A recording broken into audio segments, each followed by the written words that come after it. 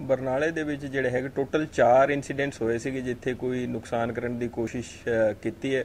ਉਹਦੇ ਵਿੱਚ ਜਿਹੜਾ ਹੈਗਾ 4 ਇਨਸੀਡੈਂਟਸ 'ਚੋਂ ਤਿੰਨ ਥਾਂ ਤੇ ਤਾਂ ਉਹ ਨੁਕਸਾਨ ਕਰ ਨਹੀਂ ਪਾਏ। ਉੱਥੇ ਟੋਟਲੀ 7000 ਰੁਪਏ ਦਾ ਨੁਕਸਾਨ ਹੋਇਆ ਹੈ। ਮਤਲਬ ਦੋ ਥਾਂ ਤੇ ਬਿਲਕੁਲ ਨੁਕਸਾਨ ਨਹੀਂ ਹੋਇਆ, ਬਸ ਉਹ ਅਟੈਂਪਟ 'ਚ ਹੀ ਰਹਿ ਗਏ।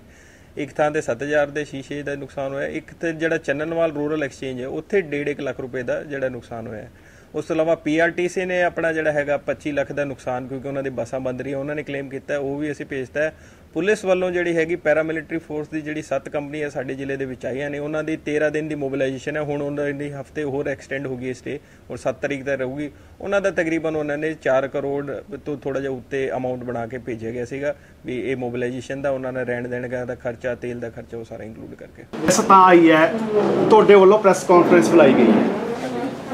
ਏਡੀਸੀ ਸਾਹਿਬ ਨੂੰ ਕੋਈ ਪ੍ਰੈਸ ਦੀ ਕਦਰ ਨਹੀਂ?